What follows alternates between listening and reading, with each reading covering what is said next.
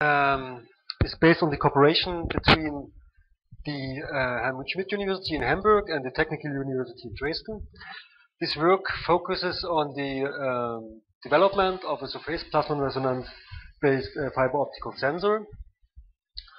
Um, I guess most of you people, or a few of you people, are familiar with uh, the method of surface plasmon resonance uh, sensing, uh, which is uh, quite a sensitive method to detect specific biochemical molecules and which is therefore uh, an interesting candidate for medical and pharmaceutical and also for environmental application. Our work on the fiber optic probe is aiming towards uh, minimization of the necessary analyte volume, uh, which could lead to the design of a portable point of care device that might look like this micropipette, or uh, to the design of highly integrated lab-on-chip systems where you have a large number of these fiber optical probes that are emulated uh, uh, simultaneously.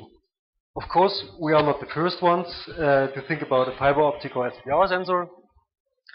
nevertheless, we did have a new idea, which is shown here. our sensor is based on a, a standard single mode glass fiber, which exhibits a thin gold layer at the tip.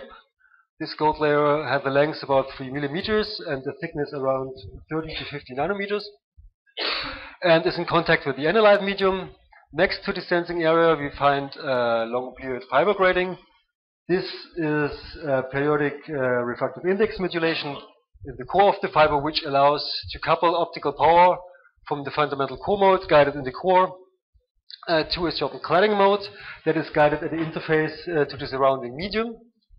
The uh, propagation constant or effective refractive index of this core mode um, is determined by the period of the fiber grating, which is designed in a way that the evanescent field, uh, evanescent field of the cladding mode will excite the surface plasmon waves uh, at the surface of the gold coating, which then leads in turn uh, to a strong field concentration of this cladding mode on the metal surface, which leads uh, to um, uh, higher attenuation of this cladding mode and also to a significant change of the effective refractive index of the cladding mode the both uh, lateral parameter, uh, parameters strongly depend on the uh, surrounding refractive index. So therefore, this is actually a refractive index sensor, which, however, is sensitive enough to detect uh, biomolecular binding processes which take place at these lateral areas. If you now think about to design uh, the sensor towards high sensitivity, you uh, got to gain information about the effective refractive index, and attenuation of these cladding modes and uh, their dependency not only to the surrounding refractive index, also to uh, the wavelength and uh, thickness and permittivity of the gold layer. Um, think about modulation. Uh, you will uh, visit uh, common numerical methods first, but um, we are facing two major problems. The first one is that the SPR-induced loss of the cladding modes leads to complex results which inhibit uh, the identification of certain cladding modes, especially uh, for our um, cylindrical fiber geometry. And the second important restriction is that uh, the 125 micrometers diameter of our cladding is relatively big in comparison to our working wavelength, which is in the visible range, and also to the thickness of our gold layer. So in order to ship around these problems, we thought of a stripped down model which focuses on a few uh, relevant parameters instead of uh, giving a complete description of the cladding mode. This is done uh, uh with a planar approximation using a symmetric uh, slab waveguide with a bidirectional gold coating. And although it's a planar model, it is able to emulate uh, fiber cladding modes, in particular HE1X fiber cladding modes, which are typically excited by long period fiber gratings.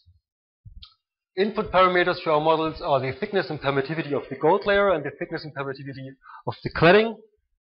Having these parameters, we can calculate uh, the complex reflection coefficient of the interface between our planar waveguide and the gold coating. This is done in dependency of uh, the effective refractive index, the wavelength, and the surrounding index. Uh, for uh, two complementary polarization, meaning transverse magnetic polarization, which is known to be the SPR efficient polarization, but also for transverse electric polarization, which is due to the fact that we want to emulate uh, these uh, HE1X hybrid cladding modes. If we now calculate the phase angle of this complex value, we get the phase shift uh, of light which is totally reflected at this interface. And together with the uh, diameter of the fiber cladding, we can calculate uh, the effective refractive index of this hybrid mode by applying the standing wave condition for our planar structure. Taking these values to calculate the reflection coefficient and uh, then calculating the absolute squared value, we get the reflectivity of this uh, waveguide gold interface, which is our second parameter. And in order to give you an idea what kind of information these both parameters um, give us in regards to surface plasmon resonance, I've plotted uh, these two graphs. What we see is the effective refractive index and the reflectivity independent of the surrounding refractive index. And for the effective refractive index, which again is the propagation constant uh, of our cladding mode, we see a clear shift at uh, a certain surrounding refractive index. This is where SPR is taking place. And here we also find uh, the lowest reflectivity, which is correlated uh, with uh, the SPR-induced loss and field concentration. So now if you want to calculate absolute values of the attenuation, which is crucial for our sensor, uh, we got to um, do um, supportive experiments in order to uh, determine scaling factors for the attenuation. This is done uh, with the following setup. At first sight, it looks a little bit like our Zen setup, but it has one major difference. Uh, the uh, fiber grating and the gold coating are here at the same place. That means the SPR-induced change of the cladding mode behavior will lead to a change uh, uh, of the LPG coupling, which can be observed in the transmission spectra of the uh, fiber grating. These transmission spectra are characterized by a notch at a certain wavelength, which is determined by the period of the grating and the effective refractive index of the cladding mode. And what we here see uh, are transmission spectra which were acquired for different uh, surrounding refractive indices, which were uh, adjusted with different solutions of sodium chloride. And there is uh, a clear change, uh, refractive index dependent change to this transmission spectra, which is quantified uh, with three parameters, which are the resonance wavelength, the minimal transmission at the resonance wavelength, and the full width at half maximum. So now we take these three measured parameters and use an algorithm that is taken from coupled mode theory under the assumption of a weak grating and coupling into cladding modes uh, in order to fit these uh, experimental values. First of all, we need the parameters uh, of our fiber grating, which is the length and the period.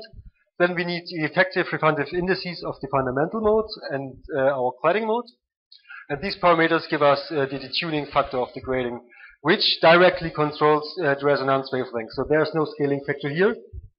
However, we need a scaling factor if we want to implement uh, the losses of the cladding mode, modes, which is done uh, by the interaction length of the cladding mode with the grating. That means if we have a lossy cladding mode, we will have an interaction, or it can happen that uh, the interaction length with the grating is lower than the actual grating length. Um, this would lead to um, an increased uh, transmission minimum, so uh, uh, a shallower tip, and also to a broadening of the resonance.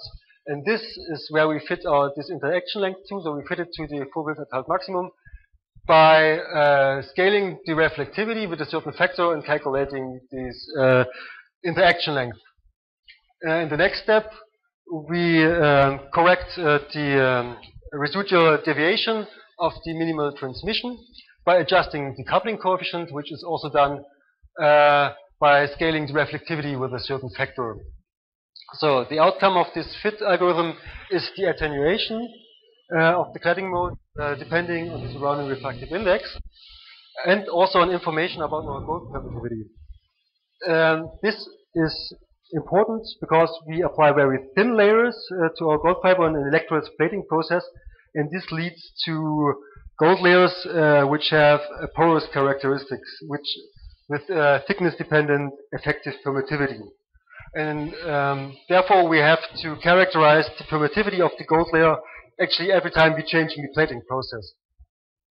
Um, fortunately, this is quite simple, as the uh, real part and the imaginary part of the permittivity uh, react complementary uh, uh, on our fit parameters.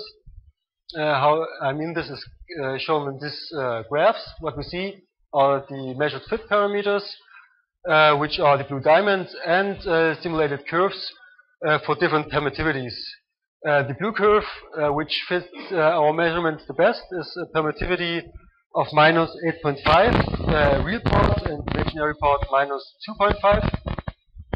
And if we now change the real part, like for the green curve, you see there is a shift of the whole curve, so we are shifting the SPR um, location for the simulation with the real part, and the imaginary part more or less controls uh, the slope of the curve. So this is the parameter uh, we have to change in order to fit the imaginary part of um, our gold permittivity. Summarizing my talk, I presented to you a novel fiber optical biosensor based on the surface plasmon resonance of a single cladding mode. Uh, I've presented a planar model um, regarding the effective refractive index and attenuation of the involved uh, HE1X cladding modes. Uh, our research showed that if we have an optimum gold layer, we can reach an attenuation of 99% after 5 millimeter uh, uh, gold plating. Uh, this planar model was supported with LPG adjusted experiments gave, which gave us scaling factors and the complex gold permittivity. So finally, I'd like to thank my colleagues in Hamburg and Dresden and the German Research Foundation for funding and uh, of course, I thank you for your attenuation, uh, attenuation, for uh, for your uh, attention. And I hope there's a few seconds left for questions. Thank you.